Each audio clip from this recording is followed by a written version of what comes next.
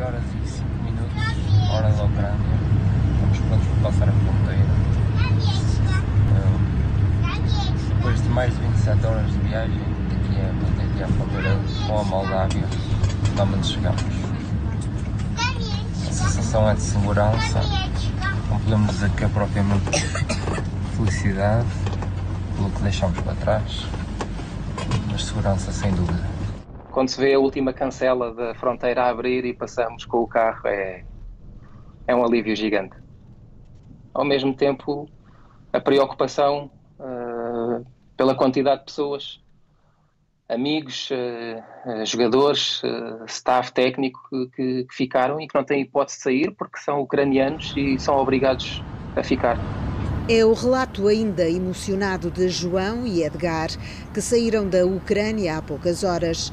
Para trás ficou uma guerra que viram começar e muitas pessoas que conheceram, mas que tiveram de ficar no país. Eu já vi algumas uh, fotografias de jogadores meus que não conseguiram ir para casa e que estão, estão, na, estão na academia, estão acompanhados com treinadores. Há treinadores que se mudaram para a academia juntamente com as famílias e estão a acompanhar os miúdos mais novos entre, entre os 13 e os 17 anos, eh, temos 40 jogadores que não conseguiram voltar a casa.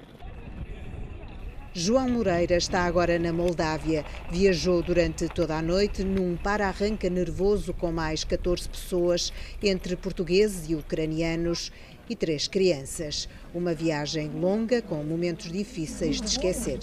Nós, uma comitiva, eles traziam um carro velho à frente com umas tirantes como se fosse uma polícia e com a bandeira russa. E, e, depois vinham atrás os carros, os carros, os caminhões. Mas não vos interceptaram? Não, não. Edgar Cardoso já está na Roménia, viajou com a comitiva do embaixador de Portugal na Ucrânia. Confirmo, confirmo, está connosco, uh, tem sido inexcedível na, no apoio, uh, portanto está seguro, estamos, estamos aqui no hotel na Roménia já uh, está tudo bem.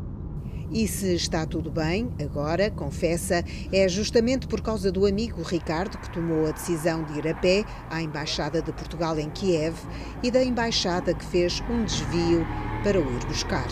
Só estou aqui por causa deste gesto da Embaixada que eles alteraram o itinerário de saída e apanharam-me no, apanharam no hotel.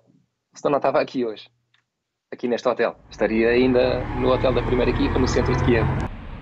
O regresso desta comitiva a Portugal ainda não está marcado, mas já se sabe que, ao todo, são 50 os portugueses que conseguiram sair da Ucrânia. Um deles é o jogador Nelson Monte, do Dnipro.